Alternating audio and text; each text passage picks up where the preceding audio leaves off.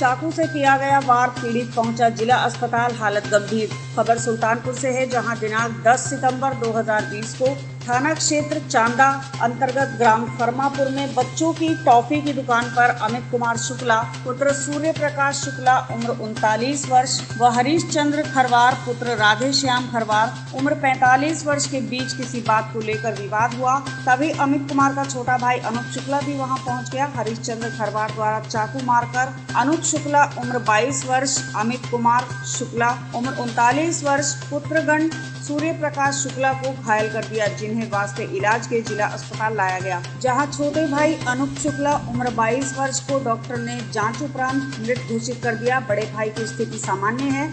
श्रीमान पुलिस अधीक्षक महोदय के द्वारा मजरूब से उनकी पत्नी से उनकी माँ से वार्ता की गई, लेकिन स्वयं मजरूब ने उनकी पत्नी व माँ ने किसी तरह के विवाद से इनकार किया। पुलिस की पाँच टीमें आरोपी को पकड़ने के लिए गई हैं।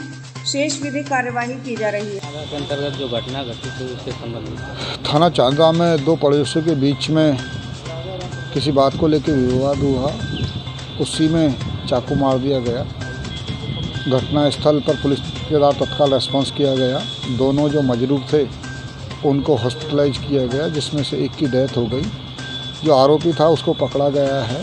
नया आला कत्ल के वो पकड़ा गया है। जब उससे पूछताछ हुई तो उसने ये तथ्य बताया कि जो पड़ोसी है, वो उसके घर पे आके पलंग बिछा कर शराब पीने की बात कह रहा था। जब उन्होंने विरोध किया तो उसने उनको पीटने का प्रयास किया तो उस पास में ही पड़े हुए चाकू से उसने हमला कर दिया। पुलिस के द्वारा जो शेष विधिक प्रक्रिया है, उसको संपन्न करवाया जा रहा है।